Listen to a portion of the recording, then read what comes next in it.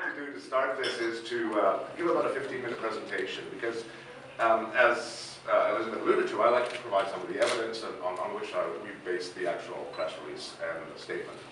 So what we're going to talk about today is the, the Northern Gateway project, and in particular starting off with the five conditions set forward by the Liberal government before they would actually agree to such a project. The five conditions are shown here, and today I'm going to focus only on condition number two.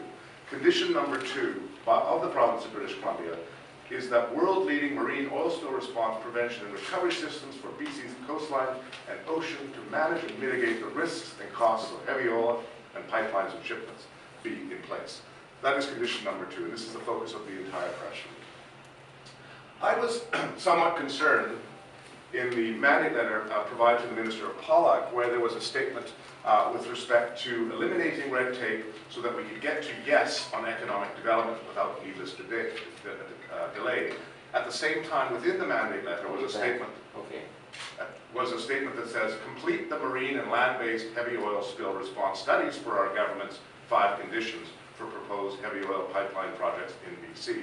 So I specifically asked the minister uh, the following. Does that raise some concerns that in some sense precluding an outcome of an environmental assessment if your mandate is to get to yes as opposed to determining whether yes is the appropriate answer?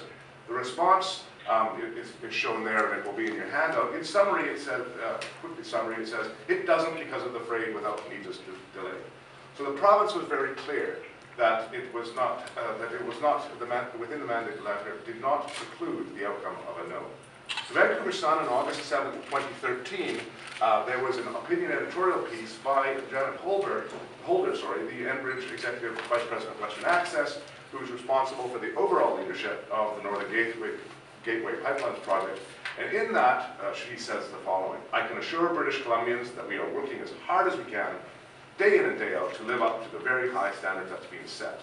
On the Northern Gateway website, which I've shown here, it says the following, spills are not inevitable and Northern Gateway has placed a high priority on both the assessments of risks and the measures required to mitigate those risks, as well as the response capabilities and the equipment and logistics support a rapid response would require.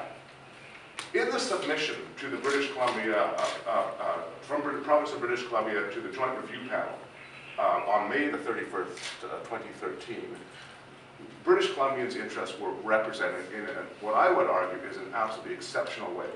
This uh, submission was thorough, it was careful, it was thoughtful, it was rigorous, and it was comprehensive. And it, it was very clear that the province uh, did an outstanding job representing the introduction, uh, the interests of British Columbians. I'd like to give you a few highlights. Highlight number one, trust me is not good enough in this case. This is in direct response to the previous state, well, to, to statements that is that uh, there was an expectation that will, would be a rapid and effective uh, marine response. In short, we have some other uh, statements here. In short, what dilbit, which is diluted bitumen, will do when it enters water remains unclear. Northern Gateway recognizes this lack of clarity itself. As was previously stated by one of its witnesses, it's extremely difficult to predict the behavior of this product. What, appear, what does appear to be common ground is that dilbit will sink if it becomes heavier than water, and so forth. the province uh, submits that requiring or the gateway to show that it will in fact have the ability to respond effectively is particularly important because there will be no subsequent public process in which that ability can be probed and tested. This is critical, absolutely critical. After the final submission and prior to the hearing of the, uh, the final decision of the Joint Review Panel, there is no ability for public input to determine whether or not any response has been made to the submissions that were put to the, to the Joint Review Panel. Paragraph 114, there's a serious reason to question Northern Gateway's ability to respond effectively to a spill. Paragraph 119, another critical piece that I'll come to with evidence in a second. A number of experts representing Environment Canada and the Department of Fisheries and Oceans have uh, uh, provided opinion that the effects of an oil spill into the marine environment can persist for decades and, and, and paragraph 127. Uh, in this, it alludes to the fact that there are regions that it will be impossible or severely constrained to actually respond to any spill. Paragraph 133, the province submits that Northern Gateway has shown that it will be uh, able to establish a spill response regime capable, has not shown whether it can do, uh, establish a, a, spill response capable of responding effectively to spills.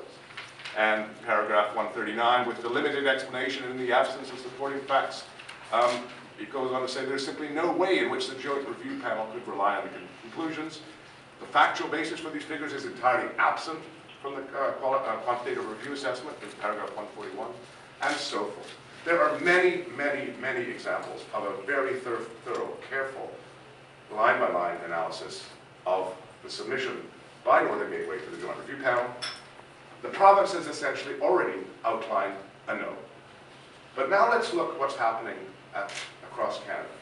On April the 15th of this year, a- a- a newsletter was released by the Canadian Committee on Oceanic Research, which was somewhat surprising to me because it buried within that was a statement that said a major initiative in planning is the complementary measures project for the area surrounding Kitimat, British Columbia to support planned oil tanker traffic.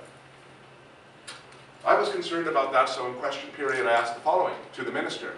What Buried within the statement, it said the following, is the government aware of this complementary measures project? And would the project meet the second of the government's five conditions for the approval of the Northern Gateway Pipeline? The response uh, was simply that the, the, the- minister seemed unaware of the, the report I mentioned and the complementary measures project in general. I followed up uh, with, a, with a question that asked, how can the government say it has control over whether or not pipeline projects go forward if the federal government is approving funding for major initiatives without consulting the British Columbia government?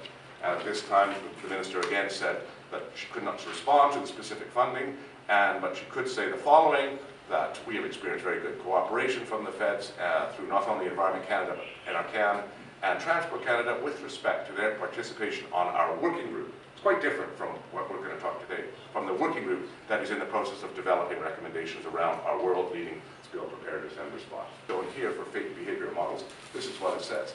This initiative will help to improve our understanding of non-conventional oil and model its behavior. Predicting the trajectory of spilled oil products is crucial for response planning and assessing environmental impacts.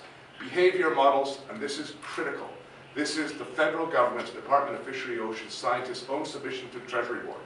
Behavior models specific to dilbit spills do not exist. And existing commercial models for conventional oil do not allow parameter-specific modifications. A response to an oil spill event can be seriously hampered, etc.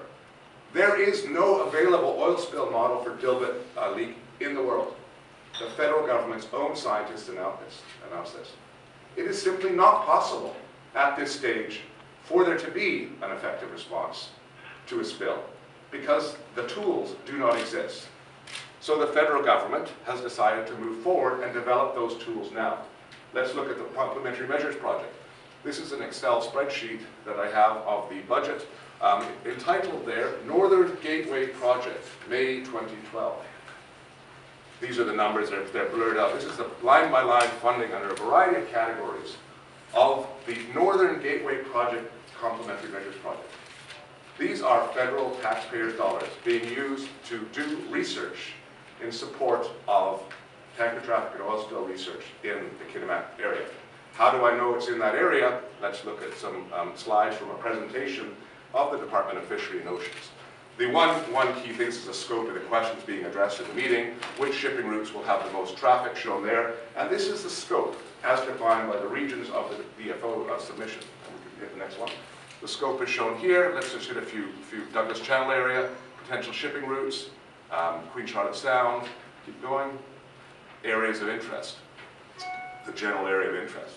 So what we have here, and this PowerPoint presentation will be made in full color on the website very shortly. What we have here, of course, is the, uh, the region of this complementary measures project specifically designed for oil uh, tanker traffic off the Kitimat coast.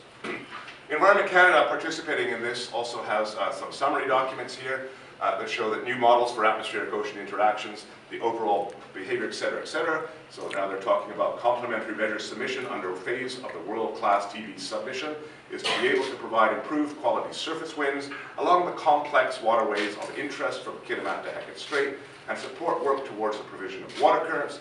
These improved parameters are then used as key inputs in the execution of spill modeling tools for oil spill assessment purposes. Of course, those tools don't exist yet and must be developed. Next slide, please. When we go here further, we find a statement in, it says, support to industry in the provision of surface monitoring data along the critical walkways, waterways of interest of this program with an MSC technician on questions related to standards and on installation plans. This is another example of federal money being used to essentially subsidize industry and industry's inability to actually provide effective response to marine dilbit oil spills because the tools don't exist. Here we have Environment Canada stepping in. In CBC News on August 7, 2013, Prime Minister Harper defended the independence of, of, of a pipeline approval process with a number of statements here. Decisions on these kinds of projects are made through an independent evaluation conducted by scientists into the economic costs and risks that are associated with the project. And that's how we conduct our business. The only way that governments can handle controversial projects of this manner is to ensure that things are evaluated on an independent basis, scientifically and not simply on political criteria. The government does not pick and choose particular projects. The projects have to be evaluated on their own merits.